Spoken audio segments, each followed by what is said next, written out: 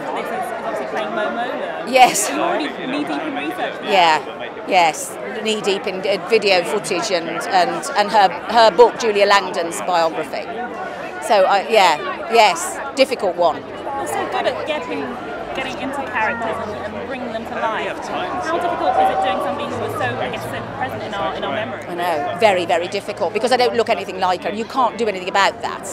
You know, because otherwise it becomes a kind of physical impersonation of someone, and that, that's what people are looking at. And they really you need to get to the essence, but you have to give a flavour of, obviously, that her, partly what she's like physically is partly about who she is. So you have to do.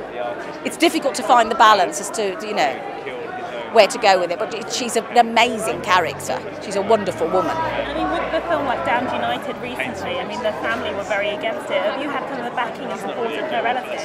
I don't know. It's too early. We're not, I've I've only just gone into production. Presumably, I am presuming there is the backing.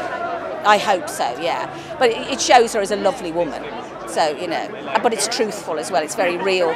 So presumably, everyone has been, you know, consulted on it.